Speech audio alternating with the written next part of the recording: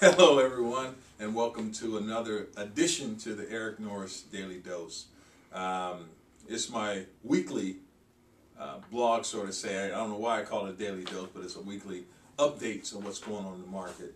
Uh, again, I'm Eric Norris with, with Silicon Valley Associates, uh, realtor firm here in uh, Silicon Valley, uh, and um, we're just doing our thing. Uh, uh, today, what I want to talk about, in the past, I've just been kind of giving some updates of what's going on in the market. Today, I want to talk about uh, the 10 dumbest mistakes smart people make when buying or selling a home.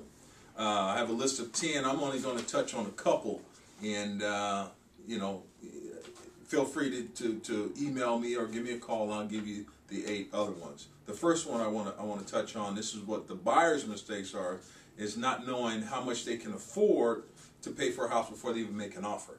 Uh, that's kind of a, uh, a, kind of a thing that uh, a lot of people obviously make the mistake. Uh, but make sure you always get pre-qualified and know how much home you can afford before getting into it.